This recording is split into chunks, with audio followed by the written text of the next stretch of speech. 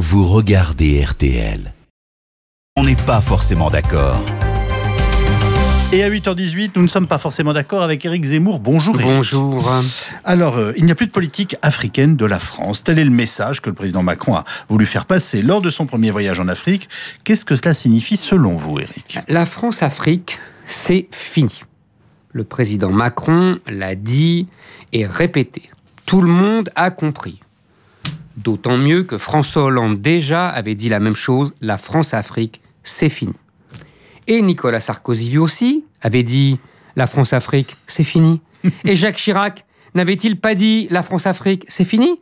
Et François Mitterrand, lors de son discours de la Baule en 1991, n'avait-il pas déclaré à tous les présidents africains réunis autour de lui, mes amis, la France-Afrique, c'est fini.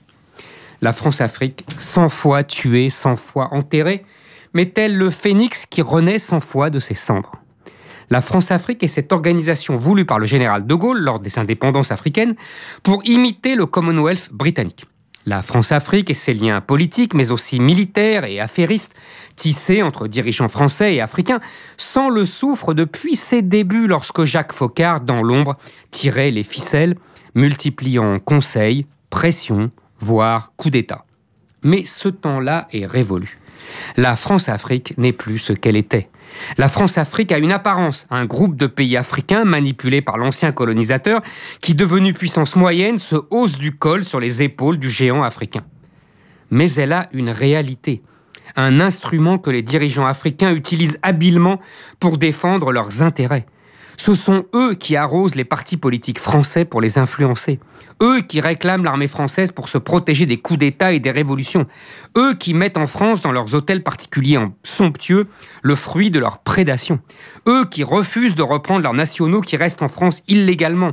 Eux qui utilisent la France comme l'exutoire d'une démographie exubérante qu'ils refusent de juguler par des mesures autoritaires. Éric, il y a tout de même de gros intérêts économiques en jeu et les entreprises françaises profitent de leur présence dans le précaré africain. Il y a belle lurette que la France-Afrique n'est plus cet Eldorado pour ces entreprises françaises. Les Chinois, les Américains et même les Israéliens leur taillent des croupières. La France acquiert certes les ressources du sous-sol africain, mais elle est loin d'être la seule. La France garantit la stabilité monétaire de ces pays. La France envoie son armée pour combattre les islamistes. Ces soldats retrouvent alors les traces de leurs prédécesseurs coloniaux qui déjà protégeaient l'Afrique noire des raids venus du Nord, nomades et musulmans. Et c'est la France qui est accusée de politique néocoloniale. Ah, c'est une vieille histoire. Nos colonies ont toujours été un deuxième choix. Ce sont les contrées dont les Anglais n'ont pas voulu. Eux s'étaient réservé les proies les plus rentables. La France avait le prestige et les Anglais l'argent. Quand le temps des indépendances est venu, l'Angleterre a fait son bagage. Plus question de payer une livre sterling. La France, elle, est restée.